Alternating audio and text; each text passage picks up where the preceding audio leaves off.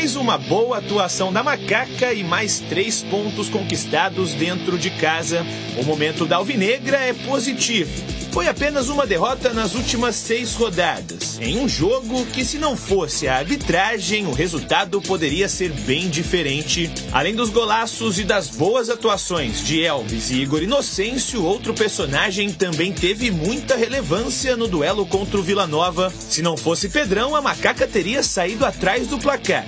E se não fosse Pedrão mais uma vez, a reta final do jogo poderia ter sido bem mais complicada para a equipe alvinegra. Defesas importantes e pênalti defendido que fizeram com que a defesa da Ponte passasse em branco pela quarta vez nessa Série B. É, eu, eu destacaria não só hoje, né? O Pedro, desde que nós estamos trabalhando, jogando junto, é, o Pedro tem sido assim um, um atleta muito profissional.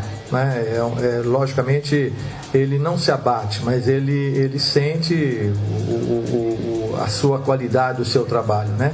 Mas é um jogador, um goleiro que tem ajudado muito a gente. O triunfo conquistado sobre o vice-líder da competição traz ainda mais moral para a equipe nessa reta final de primeiro turno. Momentaneamente, a Ponte ocupa a parte de cima da tabela. E por que não sonhar com coisas maiores na competição? É, é, que eu venho dizendo para eles: nós temos que terminar o turno, é, fazer é, é, o possível para a gente terminar bem o, segundo, o, o primeiro turno, para a gente não precisar correr atrás de ninguém e já preocupar o, o pelotão de cima que está ali já sabendo que nós estamos chegando também.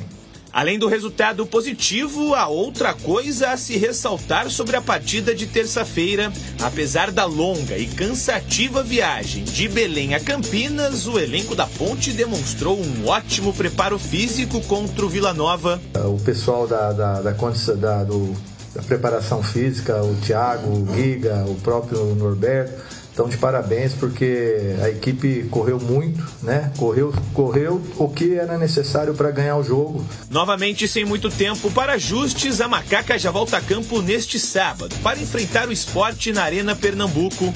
O jogo, que inicialmente teve o horário alterado para as nove da noite, voltou a ser marcado para seis horas. Para essa partida, Nelsinho Batista não vai poder contar com o volante Emerson, que recebeu o terceiro amarelo diante do Vila Nova.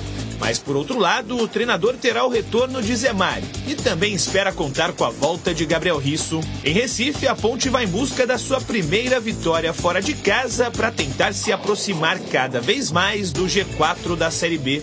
A equipe ela, ela, ela tem apresentado uma evolução também fora de casa. Né? Tá faltando, lógico, o resultado, mas uh, a gente vai conseguir. O jogo da Ponte voltou para as 18, né? Era às 18, a CBF mandou para as 21. É. Aí a CBF falou, mas peraí, pô, não, às 21 não, volta para as 18. Pô, é. tinha... e se um time vai às 18 e o outro às 21? Eu tinha um evento familiar. E eu... Ponte Preta pega o esporte. Lá em Recife. Lá em Recife, lá na Arena Pernambuco. É, eu, eu, tinha um, um, um compromisso familiar, familiar mesmo, bem íntimo. Então o jogo era às 18, eu fui o chato da vez, falei, dá para mudar para 21, porque daí eu vou. Aí mudaram para 21. Aí, legal, agradeci e tal. Agora o jogo voltou para as 18. Você acha que eu vou ligar para os caras e falar assim, viu? Vocês conseguem mudar de novo? Quer dizer, quando mudou para 21, veio para 18. Aí volta para as 18, eu vou falar, não, faz 21 de novo. Quer dizer, isso é um, um problema meu, isso é particular, eu administro. Mas e o torcedor que planeja ir no estádio? E a logística?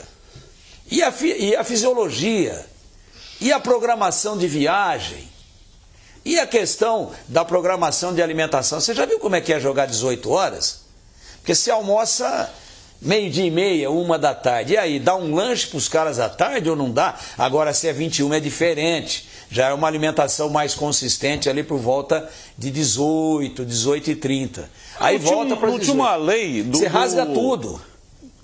Estatuto do Torcedor. Esse, esse. Que só podia mudar com oito dias de antecedência. Não está valendo mais? Esse Estatuto do Torcedor, ele, a última vez que eu tive notícia dele foi usado no Carnaval. Ele foi picado e usado como confete. Então, na verdade, é, é data, né? Horário, a lei não diz nada. Foi solicitação ah, da TV. Tá. Foi solicitação da TV e a TV mudou de ideia. E assim, caminho. Eu não estou surpreso com essa bagunça toda. Sinceramente, eu acho que o Tigrão também não, você também não. Você que está em casa não, porque a CBF a gente sabe como funciona. E o jogo? O jogo, Batista, é complicado. O jogo é complicado.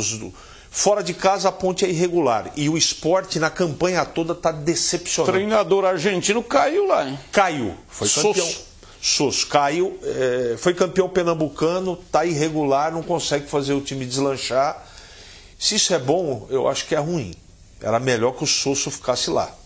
De qualquer maneira, a Ponte está precisando dar uma resposta fora de casa, né, Batista?